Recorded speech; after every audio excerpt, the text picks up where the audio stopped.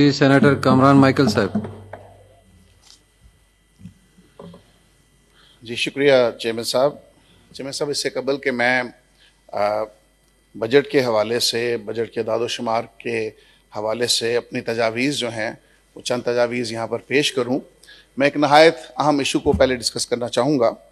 और, मैं ये कहना चाहूँगा कि आने पाकिस्तान जो है, वो हर पाकिस्तानी को बुनियादी हकूक़ देता है। और हर पाकिस्तानी शहरी जो है, वो आयन उसके हकूक़ को प्रोटेक्ट करता है। और एक ऐसा अदारा, जिसको हम सुप्रीम कोर्ट ऑफ़ पाकिस्तान कहते हैं, उन हकूक़ की हसूली और इम्प्लीमेंट करने का एक वाद सोर्स है। उसे तमाम इख्तियार दिए गए हैं सुप्रीम कोर्ट ऑफ़ पाकिस्तान को कि हर बशर, हर बशिंदे की, हर शहरी के हकूक़ का वो तहफ़ करे। गुज्त दिनों में सुप्रीम कोर्ट ऑफ़ पाकिस्तान ने एक जजमेंट दी, जिसमें ये जजमेंट दी गई कि जो गैर मुस्लिम तालब इलम हैं, तलबा हैं, जो मुख्तलिफ़ यूनिवर्सिटीज़ में पढ़ते हैं मेडिकल में जाते हैं और दूसरे शोबों में जाते हैं तो उनके साथ एक नाइंसाफ़ी है कि अगर कोई मुसलमान बच्चा स्टूडेंट जो है, वो हाफज कुरान होता है तो उसकी बीस नंबर्स उसे इजाफा मिलता है जब वो एडमिशन लेता है। लेकिन ये नंबर्स जो हैं, ये गैर मुस्लिम स्टूडेंट्स को क्यों नहीं जाते?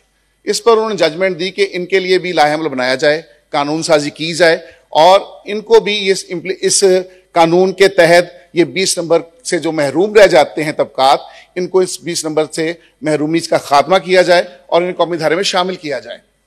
जब ये सुप्रीम कोर्ट ऑफ़ पाकिस्तान की जजमेंट आई है, उस पर चंद अनासर ने पार्लियामेंट में तकारीर की और उन्होंने इसे बड़ा गैर मुनासिब इकदाम करार दिया और कहा कि अब इनका कोई वजूद नहीं है, क्योंकि इनकी अनाजील और तौरात जो हैं, वो ख़त्म हो चुकी हैं। उनका ही कोई वजूद नहीं है।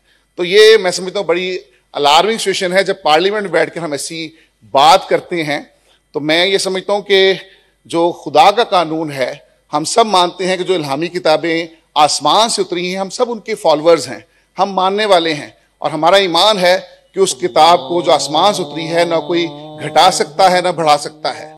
जी मैं सब, मैं बात कर रहा था कि हम सब इलामी किताबों को मानने वाले लोग हैं और हमारा ईमान है कि इलामी किताबों को कोई रद्द नहीं कर सकता, क्योंकि ये खुदा की तरफ़ से उतारी गई किताबें हैं।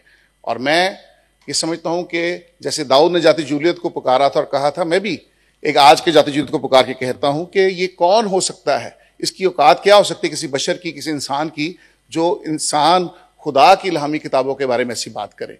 तो मैं ये समझता हूँ कि हमें अब हम ग्लोबल विलेज में रहते हैं, दुनिया सिमट आई है, हम दुनिया को क्या मैसेज दे रहे हैं? हम अपने पार्लियामेंट में किस तरह की बात करते हैं?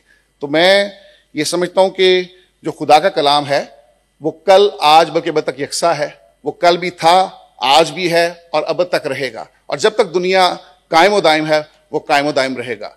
लिहाजा इस बात में यही सच्चाई है और फिर उससे बढ़कर बात की, जो मैं समझता हूँ किसी भी मज़हब के लिए उनकी दिल आजारी का बायस बन सकती है, कि इनकी जो किताबें हैं, वो तब्दील हो गई हैं। अंजील मुकदस जो है, मैं ये कहना चाहूँगा कि उस शख्स ने अंजील मुकदस का मुताला ही नहीं किया। अगर वो मुताला करता तो मैं समझता हूँ वो जो इंसान उसको पढ़ लेता है, जो खुदा के कलाम को पढ़ लेता है, वो खुद तब्दील हो जाता है। तो हम इस बात को हम मानते हैं और हम समझते हैं कि हम पाकिस्तानी हैं। हम पाकिस्तान का सॉफ्ट इमेज बल्कि ट्रू इमेज दुनिया के सामने पेश करते हैं। हमने पाकिस्तान के उस सॉफ्ट इमेज को, उस खूबसूरत चेहरे को दुनिया के सामने पेश करना है कि हम पाकिस्तान के खैर हैं।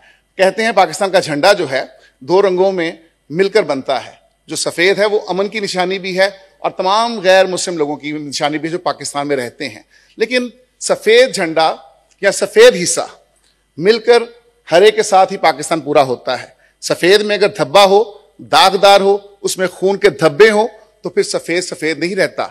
ये हमारी रिस्पॉन्सिबिलिटी है कि उसे हमें साफ़ सुथरा बनाना है, क्योंकि वो पाकिस्तान के परचम का हिस्सा है। हम सब पाकिस्तान का परचम है मैं भी पाकिस्तान हूँ, आप भी पाकिस्तान हैं। मिलकर पाकिस्तान को सींचना है, संवारना है, निखारना है और इन शर्प एलिमेंट्स के खिलाफ मिलकर हमने उनका मुहासबा भी करना है।